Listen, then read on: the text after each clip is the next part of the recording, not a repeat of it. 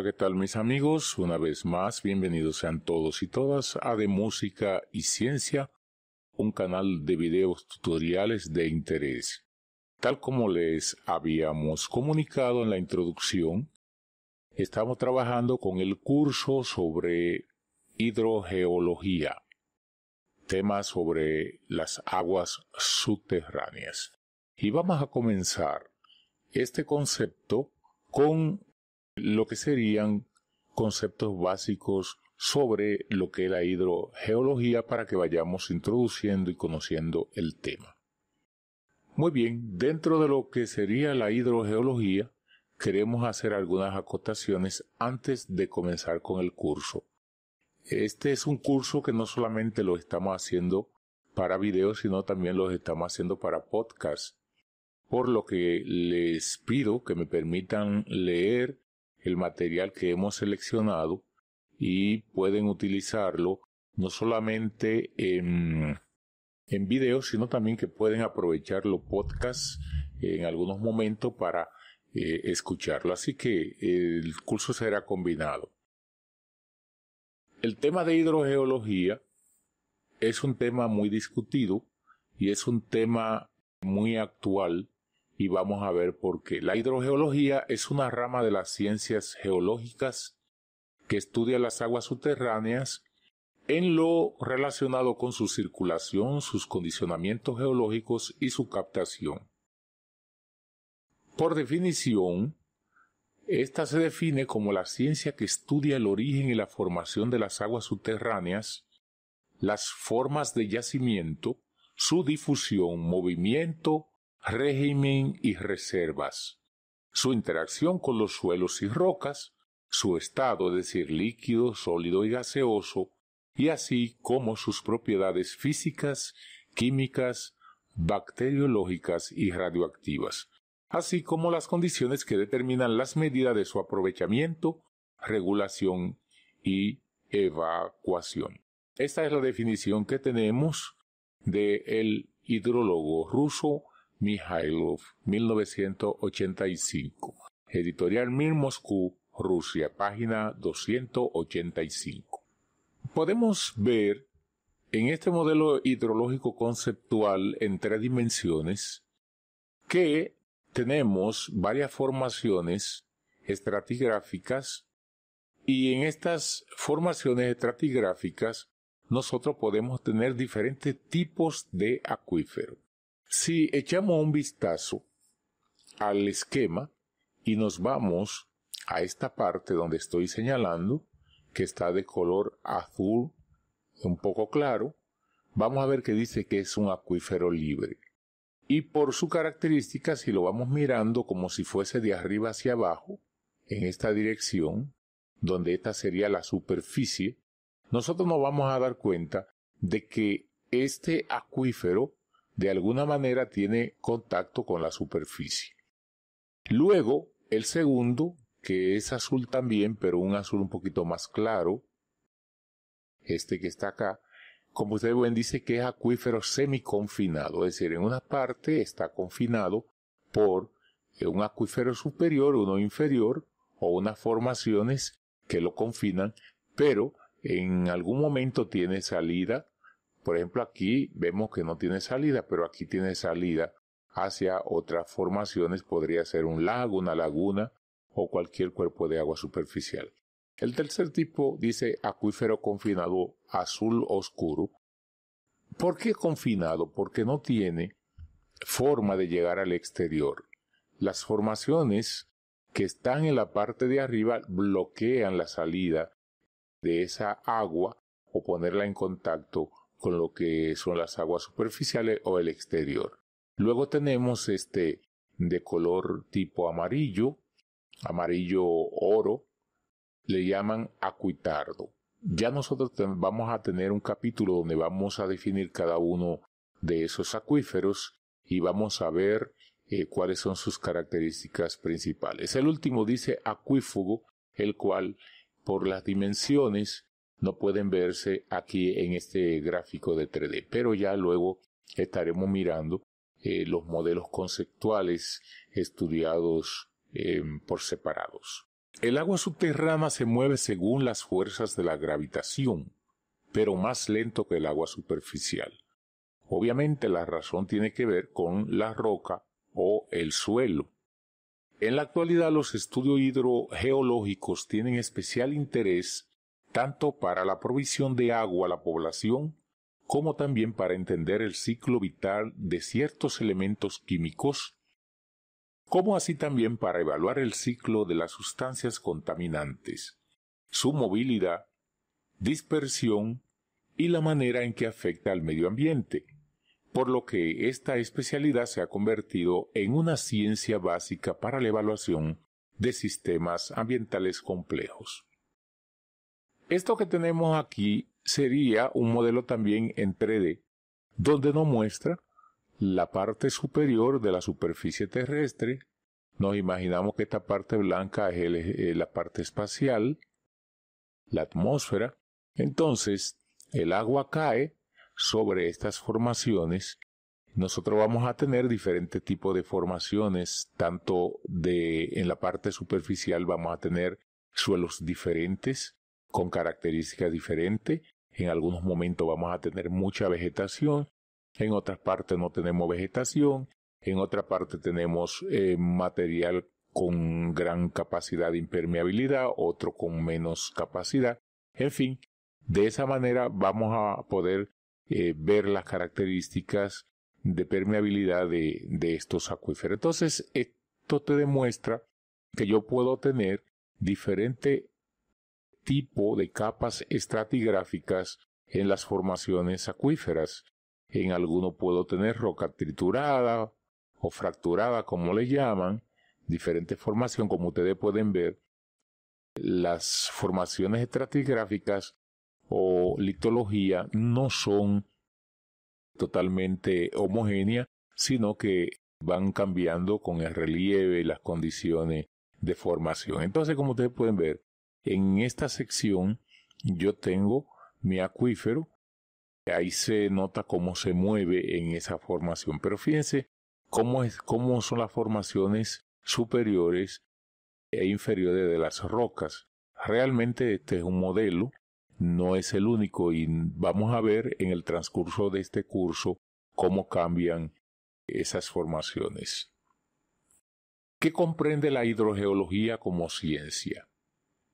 La hidrogeología comprende la evaluación de las condiciones climáticas de una región, cuál es el régimen pluviométrico, tiene que ver con la cantidad de agua, de nieve que cae en esa región, composición química del agua, los elementos químicos que la componen, características de las rocas tales como la permeabilidad, que es un elemento tan importante a considerar para determinar los tipos de, de acuífero y la forma de comportarse y sus características, la porosidad, la fisuración, composición química, rasgos geológicos y geotécnicos. Tenemos aquí una demostración de un terreno. Si nosotros vemos ese tipo de terreno, por las características decimos, bueno, aquí esta es una formación donde hay caliza, aquí yo tengo encharcamiento, podría ser que dentro de esa misma formación yo tenga un suelo semi impermeable y por eso después de una lluvia pueda tener algunos residuos de agua. Esto es simplemente para ilustrar de que no tenemos formaciones homogéneas a través de, de, de los acuíferos. Las formaciones van a depender del tipo de roca y del tipo de suelo y las características de estos elementos. ¿Cuáles son los temas principales de la investigación hidrogeológica? Bueno, el primer tema principal es el estudio de las relaciones entre la geología y las aguas subterráneas. ¿Qué relación existe entre lo que son estas rocas, sus formaciones, sus composiciones, sus estructuras y lo que es las aguas en sí como eh, solvente? El segundo tema de investigación es el estudio de los procesos que ríen los movimientos de las aguas subterráneas en el interior de las rocas y de los sedimentos. El tercero es el estudio de la química de las aguas subterráneas, lo que le llaman hidroquímica e hidrogeoquímica. Aquí tenemos otro tipo de formación. Este es un paisaje donde vemos vegetaciones diversas, vemos acumulaciones, vemos colores. Tiene que ver con los tipos de roca y de suelo que tenemos en esta formación. ¿Cuáles son los factores que definen la roca y la formación geológica? Bueno, primeramente, su capacidad de almacenamiento, de retener agua y después dejarla fluir, es decir, porosidad. La porosidad está determinada por el volumen de agujeros o vacíos sobre el volumen total. Y lo otro es la capacidad de transmitir, de transmisión, de permitir que el agua circule a través de la roca, lo que le llamamos, lo que le llamamos perdón, permeabilidad o conductividad hidráulica o factor K. Aquí tenemos una formación rocosa y debajo de esta formación rocosa estamos viendo acá como una especie de, de arroyo donde tenemos un agua que se ve acumulada, incluso hay una estructura de aprovechamiento que ha sido obviamente colocada ahí por los humanos para aprovechar ese potencial de esa agua que sale de esa montaña. Ese es un tipo de acuífero y vamos a verlo en la clasificación que tenemos como un tipo de, de acuífero importante que ha sido aprovechado a través de los siglos. ¿Cómo podemos clasificar las formaciones geológicas según su comportamiento hidrogeológico? Bueno, aquí vamos a hablar de los diferentes tipos de acuífero. El primero es acuífero, que viene del latín fero, que significa llevar. Y esta es una formación geológica que contiene agua en cantidad apreciable y que no permite que circule con facilidad. Un segundo tipo de, de estas formaciones hidrogeológicas son lo acuicludo, viene del latín cludo o encerrar, y es la formación geológica que contiene agua también en cantidad apreciable y que no permite que el agua circule a través de ella. Aquí tenemos, por ejemplo, en esta imagen, si ustedes se fijan, yo tengo como una especie de desierto de, de arena, ¿no? Un desierto. Y alrededor de ese desierto vemos que hay una formación aquí, se ve como una pequeña laguna, un pequeño lago, y alrededor tenemos el desarrollo de una población que vive ahí. Esto es una especie de oasis, así le llaman, cuando aparecen estas vegetaciones con agua en, los desiertos. Y decíamos al principio de este curso que los cuerpos de agua siempre han sido aprovechados por los humanos para su desarrollo. De hecho, el recurso agua ha sido el recurso estratégico para el desarrollo de la humanidad a través de los siglos. Aquí vamos a clasificar las formaciones geológicas según su comportamiento. Ya hablamos de, de dos tipos de ellas. Seguimos acá con la tercera parte y son la, los acuitardos, que viene del latín tardo, retardar, impedir. Al igual que las dos anteriores, es una formación geológica que contiene agua en cantidad apreciable, pero que el agua circula a través de ella con dificultad. Este viene siendo como un concepto intermedio entre los dos anteriores. Aquí tenemos, por ejemplo, si podemos decirlo así, un corte de lo que sería un acuífero con distintas formaciones. Básicamente, mirándolo de arriba hacia abajo, podemos ver que está en la superficie, la parte que se ve en verde, la parte superficial, la zona alta, viene siendo lo que nosotros le llamamos la zona de recarga. La zona de recarga es donde el acuífero recibe la mayor cantidad de agua a través de las corrientes superficiales por infiltración y a través de la vegetación en el tiempo también por infiltración. Entonces, esta zona de recarga es una zona muy vulnerable que debe ser cuidada para mantener que el acuífero se mantenga, valga la redundancia, sano. Aquí hay una serie de elementos que luego vamos a estar discutiendo, pero la idea que quiere transmitir es que en el transcurso de recurrir después de una lluvia, el agua se va infiltrando según la gestratigrafía que tengamos y habrán diferentes tipos de formaciones. Por ejemplo, esto que es azul sería más bien la representación de lo que es un acuífero.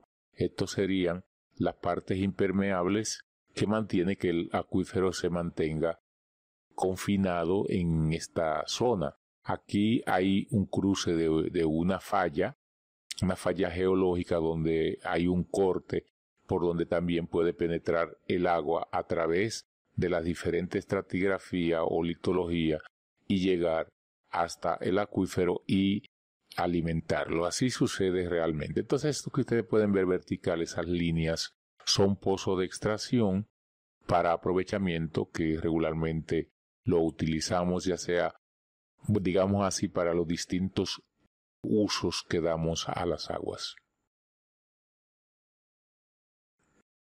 La cuarta formación sobre los conceptos que estamos estudiando sobre el comportamiento hidrogeológico le llamamos acuífugo y viene del latín fugo o rechazar, también podemos decir la palabra fuga. Es una formación geológica que no contiene agua, porque no permite que circule a través de ella. En todo caso es importante aclarar que las definiciones no son un sentido estricto, sino relativo a la zona bajo estudio, es decir, los acuíferos confinados son aquellos que se encuentran entre dos capas de material impermeable. Con relación a este concepto podemos decir que se pueden producir pozos urgentes, es decir, o artesianos que suben el agua desde esta estratigrafía para aprovechamiento a través de un pozo.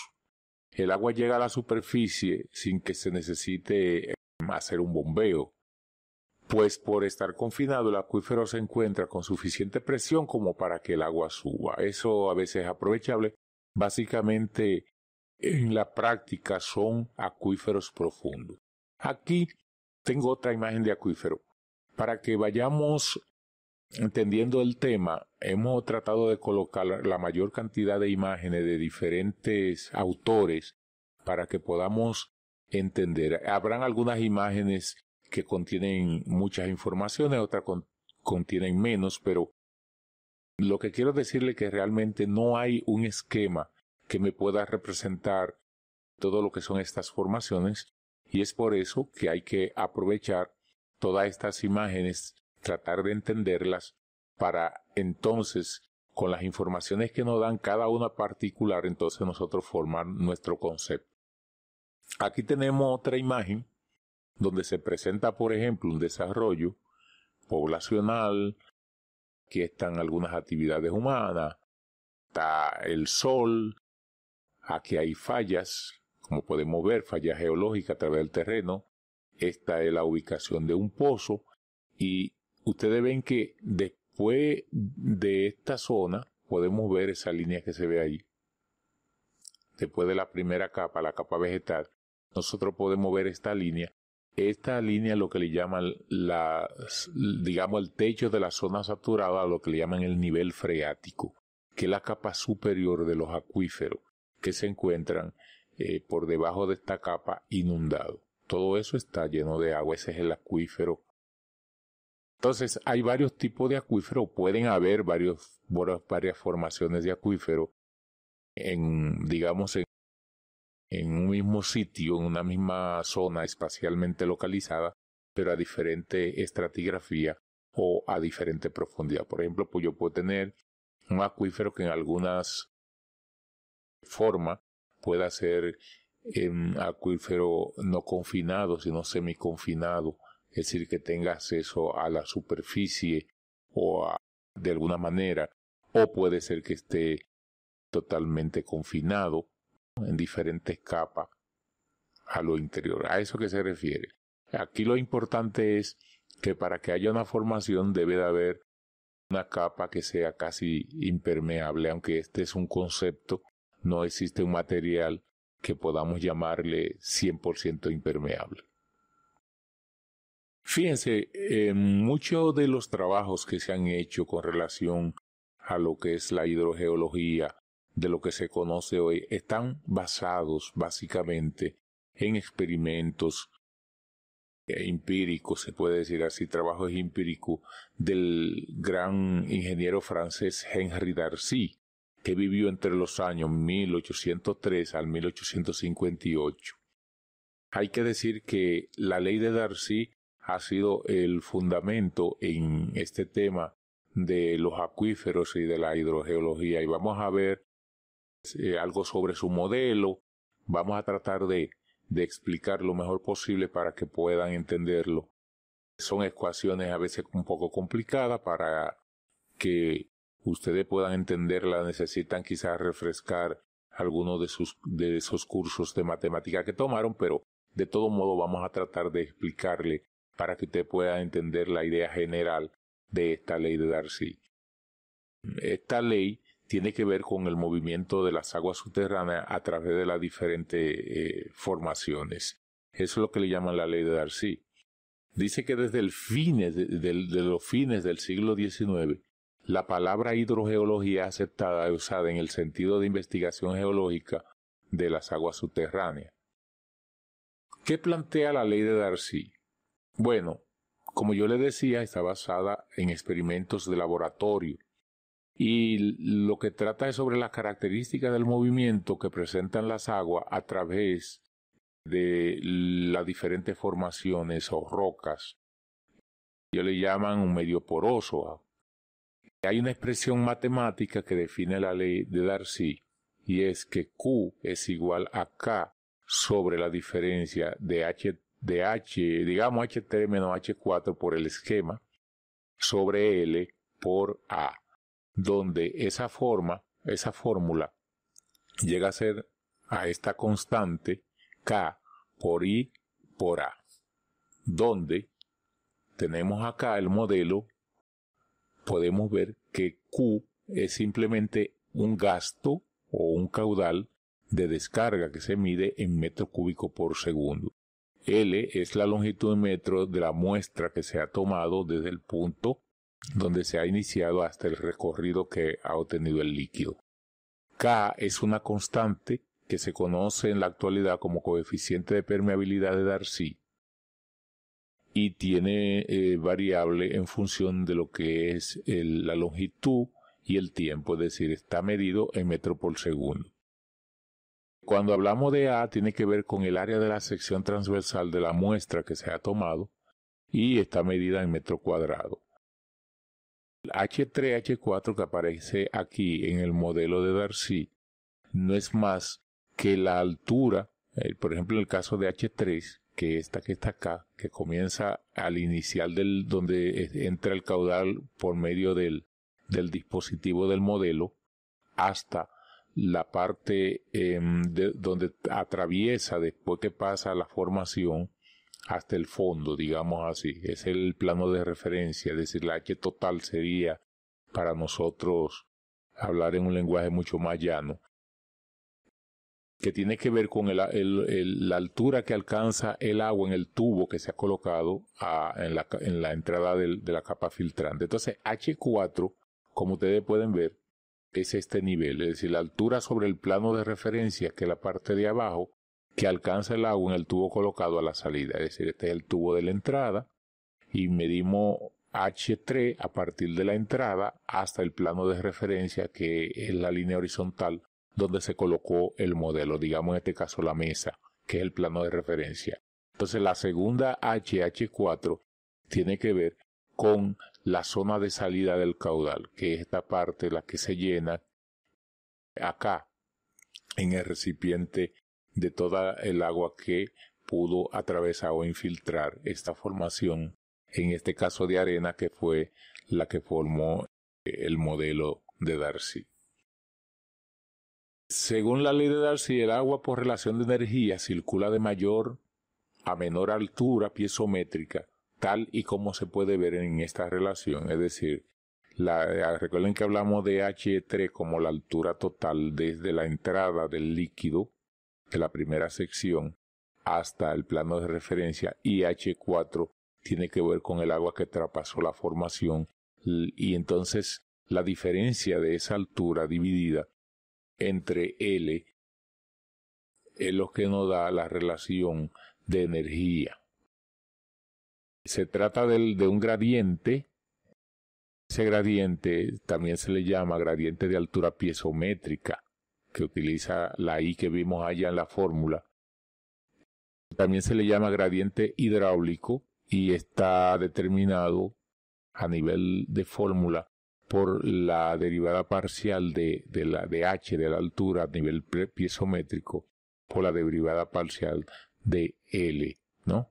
Y dice que esa, esa derivada parcial debe ser menor que cero, es decir, que no está, nosotros estamos hablando de que los valores que se obtienen son valores negativos y se expresa mediante esta relación que sería Q es igual al caudal o gasto general entre el área igual a la derivada parcial de h entre, en este caso, la derivada parcial o por la derivada parcial de lo que le llaman el nivel piezométrico.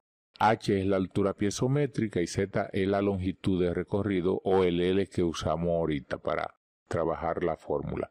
Generalizando a tres dimensiones se obtiene que Q va a ser igual a menos K, que dijimos que la constante que se mide en metros sobre segundo, por este diferencial de lo que sería en la altura en la dirección de X, en la dirección de Y y en la dirección de Z. Entonces, en K, ¿qué es K? Se obtiene, ya mirándolo de forma espacial, como, como es la conductividad eléctrica o la permeabilidad, como un, un tensor simétrico diagonable a tres direcciones principales, que son las tres direcciones espacial.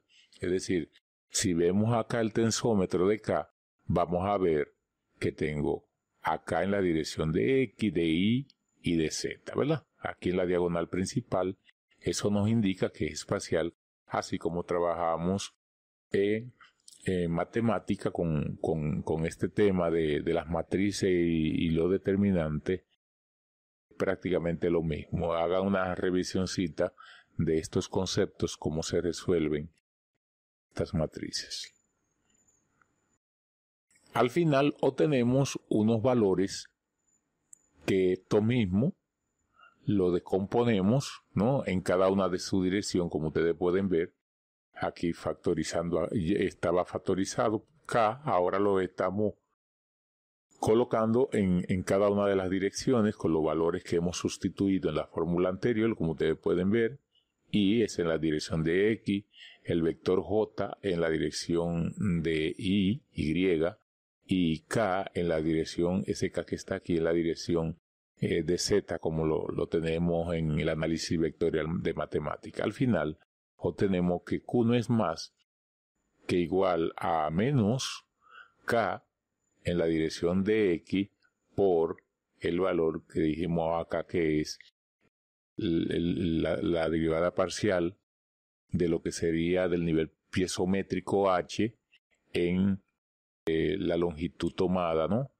O considerada lo mismo para la dirección de Y y la dirección de Z. Entonces, en conclusión, con relación a esto, el agua se desplazará en la dirección donde haya más permeabilidad y esta a su vez, a su vez perdón, indicará a qué velocidad se mueve el agua en condiciones unitarias de gradiente. De eso se trata esta ley. En terrenos isótropos, las tres permeabilidades, eh, estamos hablando las tres en las direcciones espaciales, ¿verdad? Eh, X, Y y Z, la que tenemos acá planteada. Las tres permeabilidades principales serán idénticas. Ese para ese caso. Entonces la ley de Darcy no siempre es válida y es importante decirlo, casi siempre todos estos análisis de laboratorio, lo que le llaman estas fórmulas empíricas, tienen fundamento para condiciones determinadas. Cuando no están esas condiciones determinadas, entonces la validez de esas leyes o de esas fórmulas o de esos supuestos o planteamientos ya no, no se pueden dar. Por eso siempre se dice para tales condiciones. En el caso de la ley de Darcy, la ley de Darcy es válida solamente en un medio saturado, continuo, homogéneo e isótropo y cuando las fuerzas inerciales son despreciables. Es decir, estamos diciendo que el número de Reynolds, es menor que 1 para condiciones negativas del número de Reynolds. La ley de Darcy es una de las piezas fundamentales de la mecánica de los suelos. A partir de los trabajos iniciales de Darcy, un trabajo monumental para la época, muchos otros investigadores han analizado y puesto a prueba esta ley. Hasta a través de estos trabajos posteriores se ha podido determinar que mantiene su validez para la mayoría de los tipos de flujo de fluidos en los suelos. Es decir, que eso es interesante. Para filtraciones de líquidos a velocidades muy elevadas y la de gases a velocidades muy bajas, la ley de Darcy deja de ser válida. Seguimos con el tema de la validez de la ley de Darcy. Para los casos es válida y para los casos que no es válida. En el caso de agua circulando en suelos Existen evidencia en el sentido de verificar la vigencia de la ley de Darcy para suelos que van desde los limos hasta las arenas medias. Asimismo, es perfecta, perfectamente aplicable en las arcillas para flujos en régimen permanente. Para suelos de mayor permeabilidad que la arena media, deberá determinarse experimentalmente la relación real entre el gradiente y la velocidad para cada suelo y porosidad estudiados empíricamente. Estamos diciendo que ya en este caso habrá que hacer otro tipo de experimentos. ¿Cuál es el objetivo de, hablar sobre la validez de esta ley o no? Precisamente para que a la hora de nosotros hacer un estudio del comportamiento de las aguas subterráneas a través de las diferentes formaciones, no cometamos los errores en elegir el modelo equivocado. Ese es el objetivo. ¿Qué limitaciones tiene la ley de Darcy? K, que la permeabilidad o la conductividad hidráulica, no depende solo del medio poroso, sino también del fluido, del tipo de fluido, que no fue tomado en cuenta en la ley de Darcy. Fue tomado en cuenta cuál fue el medio, pero no el tipo de fluido. K Aquí en esta fórmula se tiene por esta relación de K multiplicado por gauma dividido entre mu, donde K pequeña, esta que está aquí, no es más que la permeabilidad intrínseca. ¿La permeabilidad intrínseca de quién? De la formación mediante la cual nosotros estemos haciendo el experimento. En este caso sería la arena que eligió eh, nuestro amigo Darcy y que es em, gauma, el peso específico del fluido, es decir, que depende del peso del tipo de fluido, y mu no es más que la viscosidad dinámica de dicho fluido. De esa manera obtenemos acá. La relación entre el caudal y el gradiente hidráulico no es lineal. Eso es importante decirlo en el tema de, de las limitaciones. Si K es muy baja tampoco aplica. ¿Por qué? Porque este caso ocurre en el tema de las arcillas cuando Q es igual a cero, si el gradiente no es muy alto. Entonces, eso hay que tomarlo en cuenta. Si el agua circula a una velocidad alta, que es el caso que tenemos acá, si la velocidad alta Q es igual a menos K multiplicado por la derivada o el diferencial, en este caso podemos decir diferencial de H del nivel piezométrico entre delta de la longitud o del trazo considerado elevado a la n, donde n tiene valores distintos de la unidad. En e, este caso ocurre en los alrededores de la captación, es decir, cuando nosotros estamos examinando un acuífero alrededor donde hay captaciones, que hay acumulaciones de agua, hay abundancia de agua, el comportamiento no es igual. Básicamente, mis amigos, esto es todo. Aquí están las referencias bibliográficas de donde sacamos parte de este material. Ustedes pueden accesar a este material. En Internet hay algunas informaciones que le podrán servir para complementar. Están los libros de estos autores, hidrogeólogos que son especialistas en el caso nuestro, que somos de habla hispana, en España hay muchos de estos que tienen grandes obras que pueden ser eh, consultadas. De hecho, nosotros le motivamos a que lean los libros, que donde están todas las informaciones. Y algo que quiero decirle es que este tipo eh, de, de, enseñanza jamás va a sustituir lo que pueden describir los libros de manera ya eh, magistral. Esto es simplemente un extracto de, de estas informaciones, de este conocimiento, para que de manera sencilla podamos entender cuál es el comportamiento de, del agua en general, en este caso del agua subterránea, que es el tema que nos compete, cómo podemos cuidarla, cómo podemos aprovecharla y de qué manera nosotros causamos daño o podemos causar beneficio a, a este recurso tan valioso y como decimos al principio, tan esencial para la vida. Así que muchas gracias.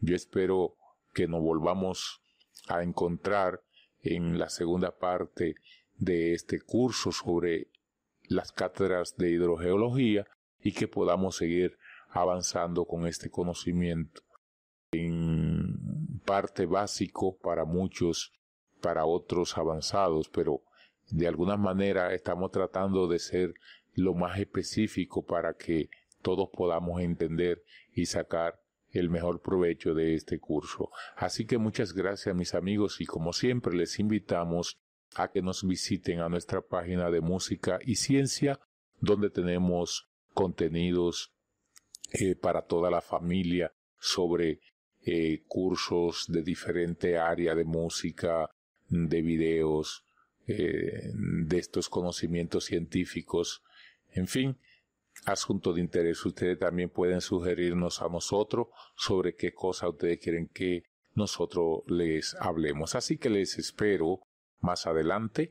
No olviden dar like al video si le gustó, si entendió que tiene algún tipo de beneficio para usted. También le pedimos que nos dé sus sugerencias para que podamos seguir mejorando y creciendo juntos. Así que muchas gracias mis amigos y será hasta la próxima. Bye.